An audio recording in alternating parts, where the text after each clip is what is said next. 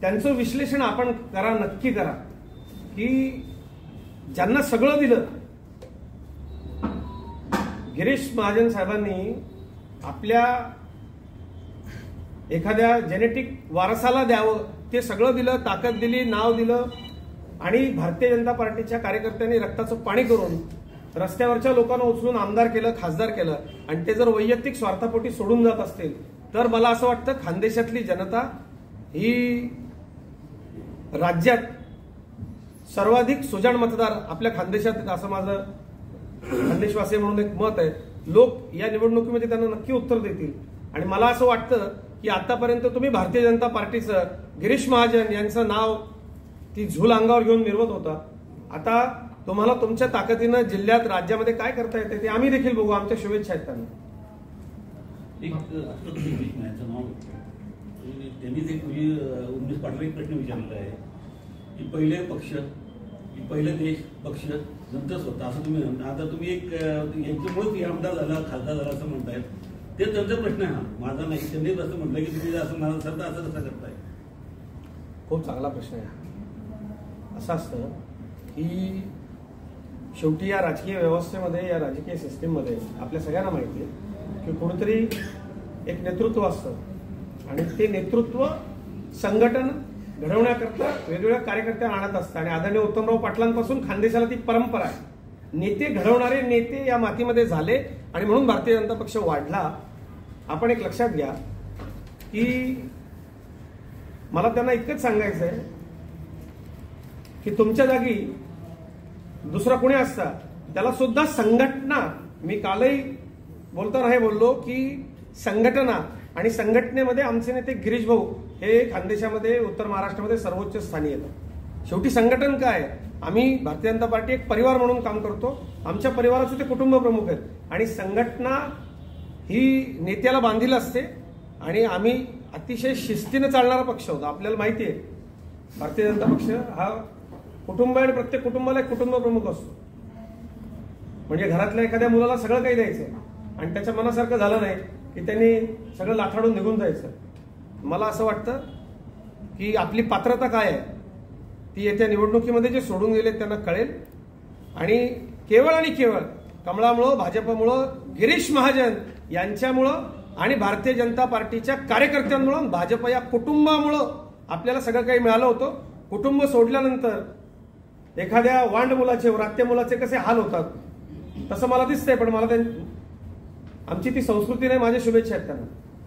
कारण ते माझ्या तालुक्यातले मला सगळं माहिती आहे. एस टी स्टँडवर आंदोलन करणारा एस टी स्टँड धुणारा झाडू मारणारा आणि तिथून कुठेतरी वर्तमानपत्राच्या चौकटीत आपलं नाव छापून येत आहे का हे याच्यासाठी धडपडणारा एक कार्यकर्ता गिरीश भाऊंनी उचलला भारतीय जनता पार्टीने उचलला आणि त्यांच्यातला स्पार्क बघितला त्यांना संधी दिली. असं असतं की सातत्यानं आपल्याला पदं मिळत जात आहेत.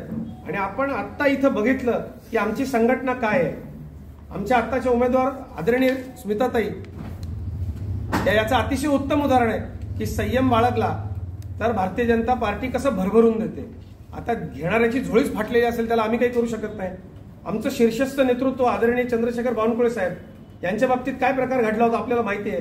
पण आज ते भारतीय जनता पक्षाचं शीर्षस्थ नेतृत्व आहे. ते आमचं राज्याचं सर्वोच्च नेतृत्व आहे. ते राज्याचं नेतृत्व करतायत. ही भाजप आहे हा भारतीय जनता पक्ष आहे. पण तुम्हाला थोडी वाट बघायची सवय जर नसेल थोडी कळ काढायची सवय जर नसेल आणि माझं प्रति आव्हान आहे की नेमक्या अशा काय तक्रारी झाल्या होत्या त्या जाहीरपणे वंदेश पाटलांनी सांगितलं पाहिजे गिरीश भाऊ तेवढे प्रगल्भ नेते भाऊ बोलले नाही.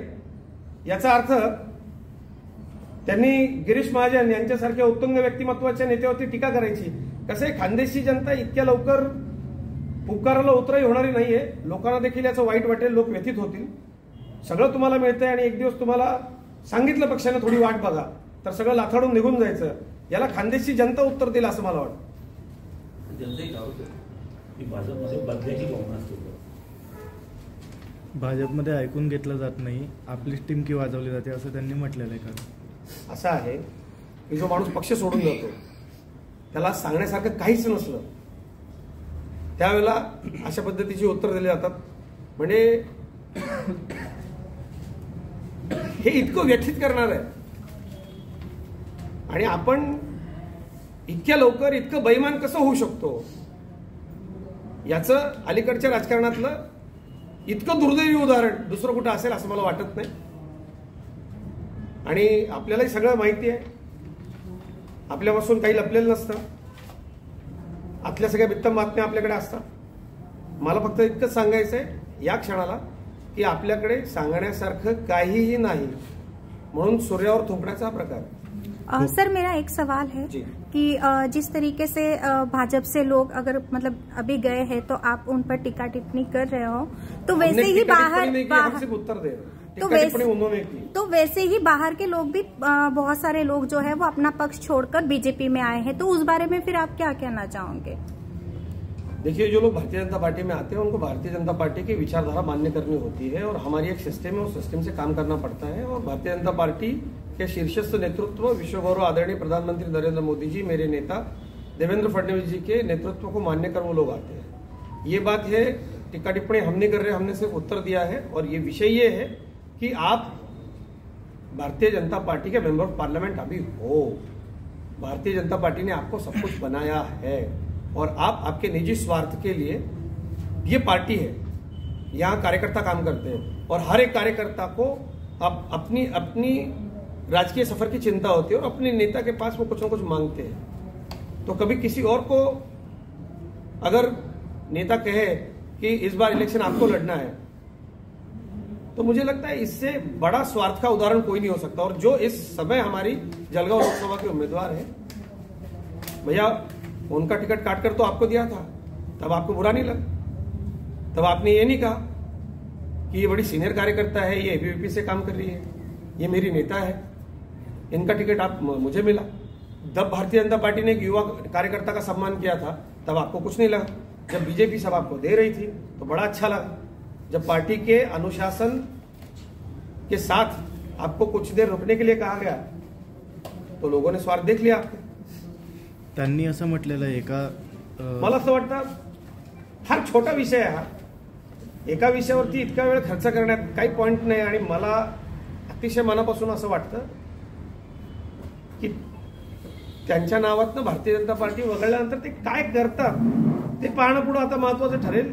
माझे नेते गिरीशभाऊ महाजन यांच्याविषयी ते बोलले. म्हणून मी त्यांना एवढं उत्तर दिलं. आमचे एक्केचाळीस खासदार आहेत.